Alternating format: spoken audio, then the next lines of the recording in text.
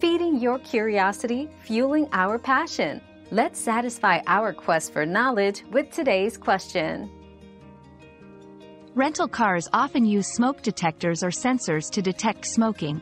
Additionally, personnel may perform a smell check for residual odors and inspect for ashes or other smoking-related debris. Cleaning fees may apply if smoke is detected in the vehicle. Our quest for knowledge never ends. Thanks for being part of today's discovery. Subscribe, like, and share to join us on the next one.